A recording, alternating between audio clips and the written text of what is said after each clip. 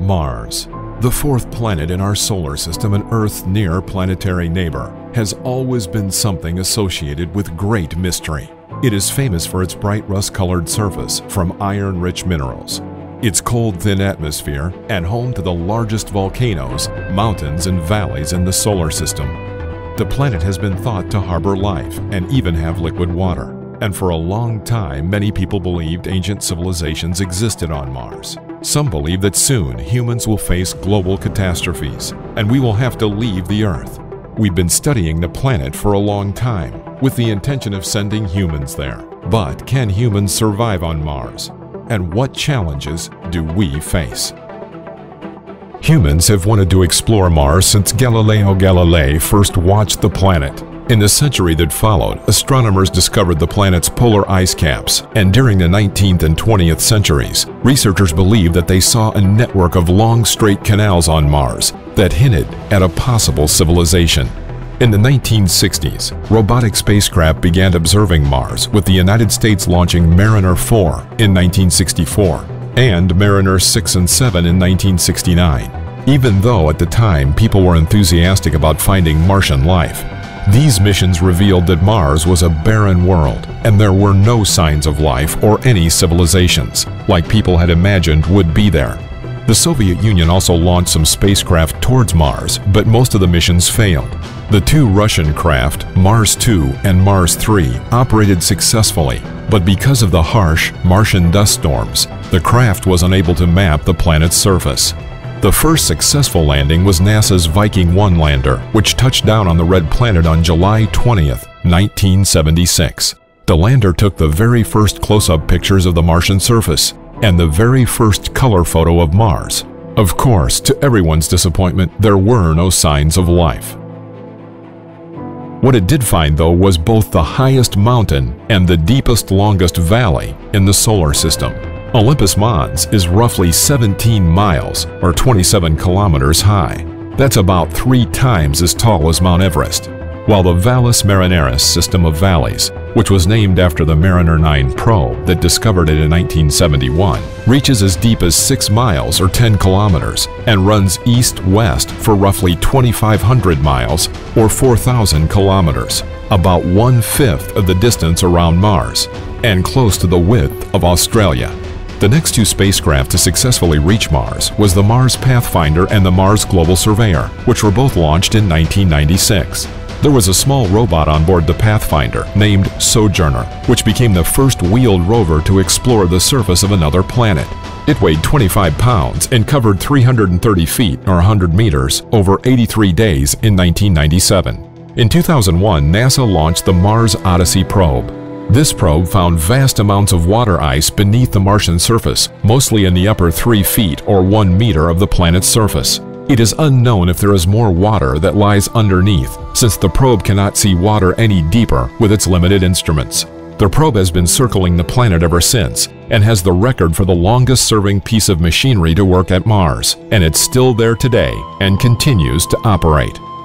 In 2003, Mars was to pass closer to Earth than at any time in the past 60,000 years. NASA took advantage of this and launched two rovers named Spirit and Opportunity. In a mission to find clues for water on the planet, these two rovers explored different regions of Mars, and both found signs that water once flowed on the planet. The amazing thing is that the rovers weren't supposed to last more than three months, but the two robotic geologists, which landed on opposite sides of the planet, have trekked for miles across the Martian surface and are still operational, with Spirit's mission ending on March 22, 2010, and Opportunity which ended February 13, 2019. Both of the rovers sent incredible photos of the planet, showing a vast and desolate alien world. In 2008, NASA sent the Phoenix to Mars, which landed in the northern plains in search for water. And it succeeded, it landed on May 25, 2008 in a mission to assess the local habitability and to also research the history of water. But the Phoenix was not built to survive the dark, cold, and icy Martian winter, and on May 25, 2010, operations were ended after repeated attempts to contact the spacecraft were unsuccessful. However, the Phoenix spacecraft succeeded in its investigations and exceeded its planned lifetime. In 2011, NASA's Mars Science Laboratory mission sent the Mars Curiosity rover to investigate Martian rocks and to determine the geological processes that created them. Curiosity landed in the Gale crater on August 6, 2012. It sent back its first color image on August 6, 2012, and on September 7, 2012, Curiosity took a self-portrait. But it wasn't there just to take photos and selfies. Part of the rover's mission was to find water, and on September 27, 2012, NASA scientists announced that the Curiosity rover found evidence of an ancient streambed showing that once upon a time there was flowing water and maybe even oceans on the planet.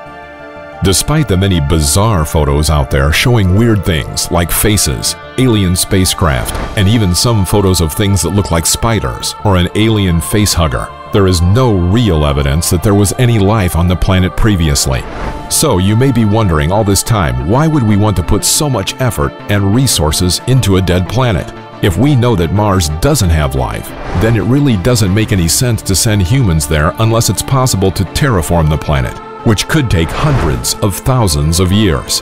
The debate is that we are wasting our time even thinking about sending humans to Mars. One of the first men to orbit the moon, former U.S. astronaut William Bill Anders, was one of three crew members of the Apollo 8 program. He has said that sending people to Mars would be stupid because the public wouldn't be interested in funding such a mission. Despite this, there are many reasons why we have been studying the planet. Because Mars is close by in our solar system, it makes sense that it's an obvious target for exploration. But there are other reasons to explore the red planet, including the search for life, understanding the surface, and the evolution of the planet. It is an excellent place to investigate this question because it is also the most similar planet to Earth, including its land masses and the possibility that it once had oceans and seas like the Earth. Evidence suggests that the red planet was warmer, and it had a thicker atmosphere than it does now, which might have made it a habitable planet millions of years ago.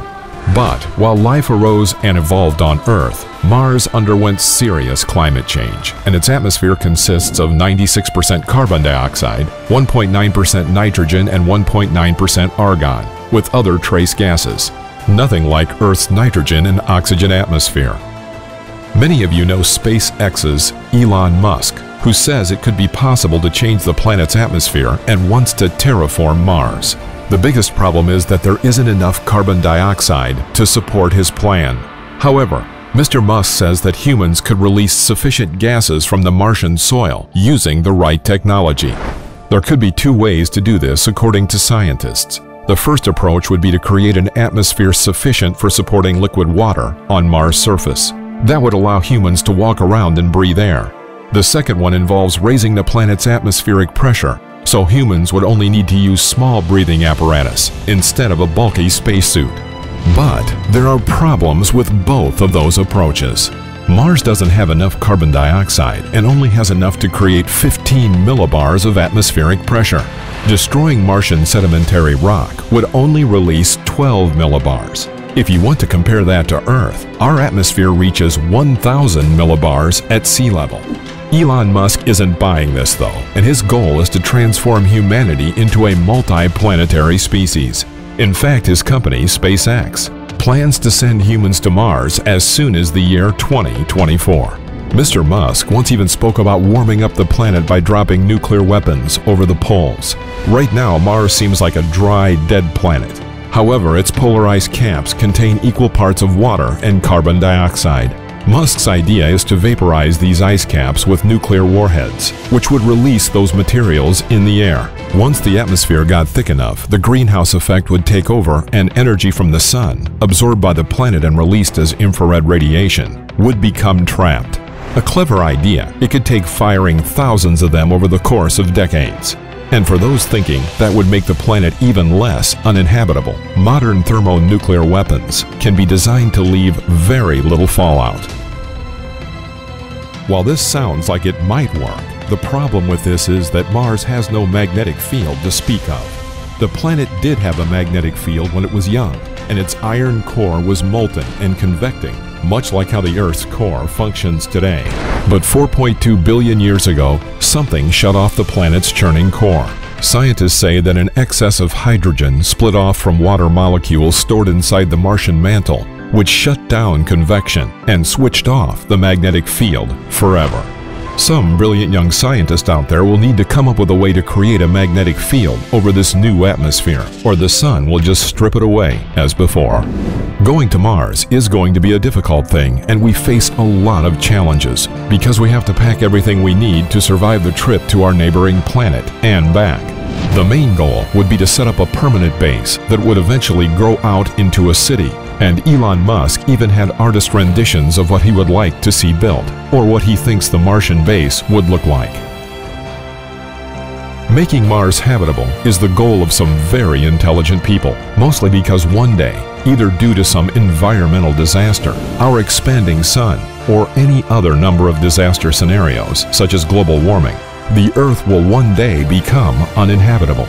SpaceX is currently working on the Starship, which is under development at the company's Boca Chica test facility in Texas, USA, that will send the first humans to Mars, which will be the first breakthrough that could pave the way for the creation of an extraterrestrial colony. And if we do overcome all the challenges, we could see a self-sustaining city on Mars by the year 2050. SpaceX wants to do testing and send humans to the surface of the moon in just five years from now. It will be an exciting time to see humans finally reach for the stars. We hope you enjoyed the video. Would you like to volunteer to go to Mars as part of the first colony? Let us know in the comments. And if you like the video, then activate the subscribe button and turn on notifications so you'll be the first to know when a new video arrives. Thanks for watching, and we'll see you next time.